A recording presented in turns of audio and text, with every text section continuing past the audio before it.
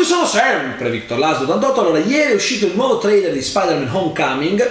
Non ero ancora riuscito a fare la reaction perché sono stato fuori casa tutto il giorno Quindi la recupero ora. Come si suol dire meglio tardi che mai. Adesso guarderò il trailer che mi dicono essere molto bello e non l'ho ancora visto E poi ne discuterò. Quindi iniziamo subito che sono fomentatissimo. Vai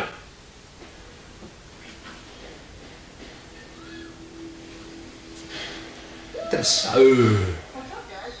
No, dai, eh, eh, già solo quel frame è, è Spider-Man.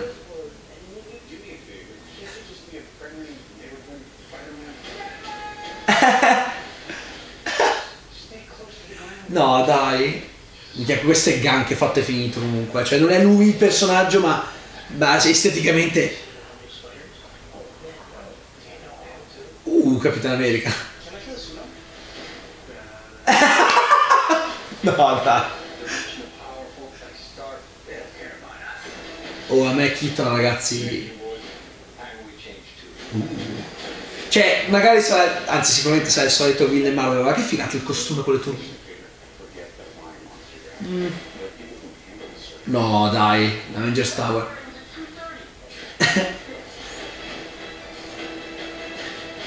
eh, Madonna. Mamma mia. E sta cosa della nave a me. Ma il punto sapete qual è? È. Dai. Madonna. Iron Man è ovvio. Il punto secondo me è semplicemente che questo sembra essere proprio Spider-Man fatto finito, perché già in Civil War si vede.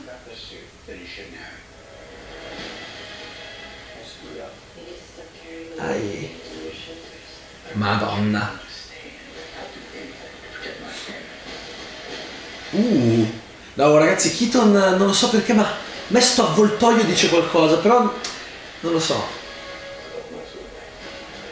C'è la faccia lui. Cioè, ma guardate quanto che. Là, ma che presenza ha! Ah, la ragna spia che avevamo già visto nella prova del trailer.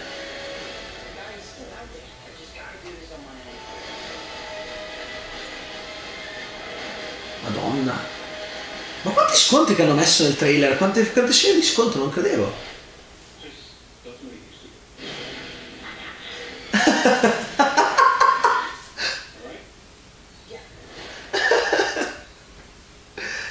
ok, dai. Allora, innanzitutto non è un trailer malvagio, però non trovo neanche che sia questo capolavoro come me l'avevano descritto se vado a vedere il trailer più bello del mondo aggiunge qualcosina rispetto al trailer precedente, che pure non era male, però secondo me è nella media. Devo dire che mi ha gasato il giusto, ormai non manca molto perché il film uscirà a luglio, siamo a fine marzo, quindi pochi mesi e ci siamo. Sarà qui il film prima che ce ne accorgeremo. E eh, innanzitutto mh, mm, sono contento di eh, vedere che i personaggi secondari sembrano essere ancora una volta effettivamente importanti perché già nel primo trailer uh, il dubbio mi era venuto che eh, volessero puntare sui personaggi secondari. Qui credo proprio che ormai eh, sia chiaro, il, lo pseudo Gank, che in realtà poi è un altro personaggio che esiste nell'universo di Spider-Man, secondo me eh, potrebbe darci delle soddisfazioni, perché ormai è chiaro che per diversificare rispetto alle trasposizioni precedenti del personaggio abbiano cercato di tirare in ballo anche l'universo uh, dello Spider-Man di Miles Morales. Quindi hanno cercato di farlo con i personaggi eh, comprimari quindi quelli più secondari che sembrano tirati fuori direttamente eh, da quei fumetti però comunque lui è Peter Parker. Per cui secondo me eh, ci sta questa cosa e poi eh, ho notato che Iron Man sembra essere una presenza abbastanza ingombrante. Magari è solo nei trailer che è così giusto per attirare più gente al cinema dal momento che hanno capito che Iron Man è il personaggio più amato del Marvel Cinematic Universe, anche se non è quello più amato da me, devo essere sincero. Poi hanno fatto i bastardi a mettere il cameo eh, di Captain America nel televisore, insomma, avevo sentito dire che si trattava di un trailer estremamente spoileroso In realtà, secondo me, neanche tanto, perché non mi è sembrato un riassunto dall'inizio alla fine. Sono rimasto molto colpito dal fatto che abbiano inserito così tante scene di scontro tra lui e l'avvoltoio. E perché questa cosa mi piace, ma da una, da una, parte mi dà un po' fastidio? Perché?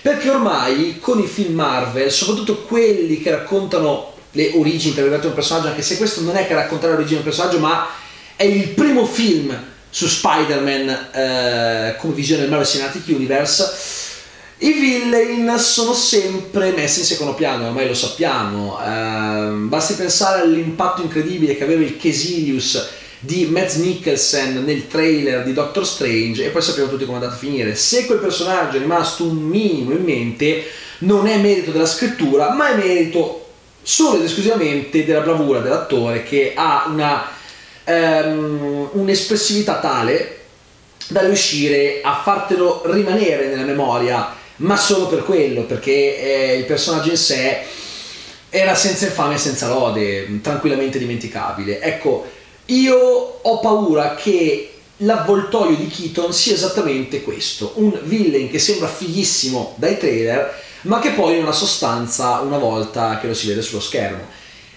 Devo ammettere che questa volta però mi ha dato una sensazione della Madonna, nel senso che di solito sì, ti danno, sembrano fighi, però non sono mai messi così tanto in primo piano. Cioè, questo trailer è basato per metà su, su, su quello che fa Keaton. Oltretutto, quanto cazzo è figo il costume, cioè, veramente, queste minchie di turbine. Ecco, una cosa interessante è che abbiano preso uno dei villain meno riconoscibili dal grande pubblico per quanto riguarda Spider-Man, perché l'avvoltoio lo conoscono bene, giusto gli appassionati dei fumetti.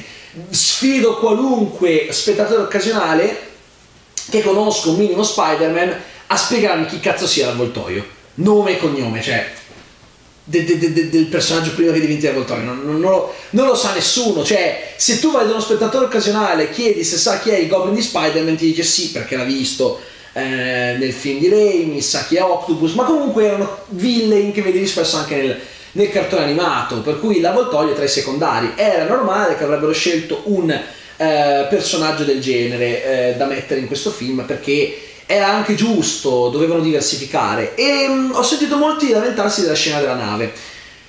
Il perché non lo so, ho sentito dire ma come fate a venissimo la nave? Ragazzi vorrei ricordarvi che in Spider-Man 2 fermava un, un treno, cioè, qui, e anzi vorrei anche far notare che questa scena di lui che tiene in due la nave è una chiara citazione al, al secondo Spider-Man di Raimi, peraltro trovo che sia eh, una, buona, una bella forma di rispetto non dimenticarsi di ciò che è stato in passato e quindi di dire sì va bene Spider-Man è stato tante cose adesso è questa però ricordiamoci che c'è già stato il cinema ed è stato diretto anche bene. Quindi questa cosa mi è piaciuta. Poi ho notato che eh, Spider-Man in questo trailer è Spider-Man cioè la scena in cui saluta le persone mentre passa davanti alla vetrata quella è proprio la cosa che farebbe Spider-Man. Già abbiamo avuto un assaggio del suo umorismo in Civil War e mm, io credo che questo trailer possa confermare che stavolta abbiamo uno Spider-Man sullo schermo che è effettivamente Spider-Man.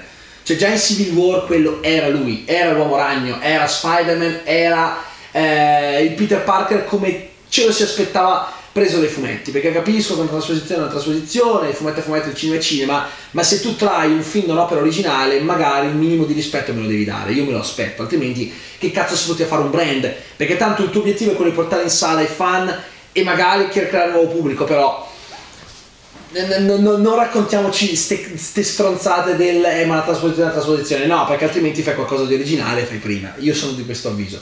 Quindi capite che anche vederlo minchionare con tutte queste battutine ci sta. Questo forse è uno dei pochi film Cinematic Universe di cui accetterei la pioggia di battute perché è ciò che effettivamente mi aspetto da un film su Spider-Man.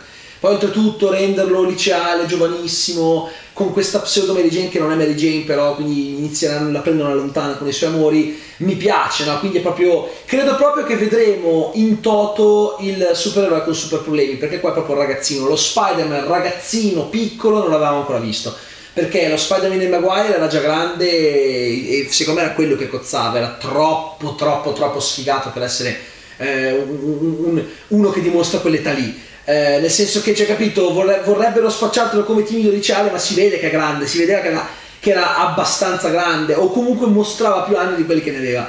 E poi quello di Garfield era un po' più fighetto diciamo. Questo invece era più quello di Ultimate Spider-Man. Questo invece è proprio lo Spider-Man ragazzetto, per cui vedremo un po' che cazzo avranno combinato, sta il fatto che questo trailer mi ha effettivamente eh, fatto salire l'hype, pur non essendo un trailer particolarmente eccezionale, sta nel mezzo. Per essere il secondo trailer non mi ha dato nulla di particolarmente eclatante da farmi urlare al miracolo, però comunque non mi è dispiaciuto. La scena con l'amico che si mette il costume è qualcosa di meraviglioso, veramente perché lo vedi, questo Spider-Man cicciolissimo, è bellissimo. Quindi io sono fiducioso, speriamo che l'avvoltoio di Keaton non sia una minchiata, incrocio le dita, anche se ormai la politica del metto il villain sciapo eh, e, e, pressoché inutile per evitare che clissi il protagonista mi sembra abbastanza evidente però vedremo. Magari avendo Keaton e potendo fare il giochino con Keaton che è stato Birdman e che adesso eh, farà l'uomo uccello in un, in un cinecomic vero e proprio fa anche abbastanza ridere, quindi insomma c'è anche questa manovra di marketing eh, che secondo me è ottima, per cui vedremo cosa succede. Io vi sto scrivendo un qui sotto cosa ne pensate voi, queste cose secondo me, queste cose che abbiamo mostrate nella discussione, mi raccomando, sono curioso sapere cosa ne pensate voi, io vi abbraccio, grazie per aver seguito fin qui, ma tanto, ma tanto, ma tanto, ma tanto, tanto, bene, noi ci vediamo al prossimo Movie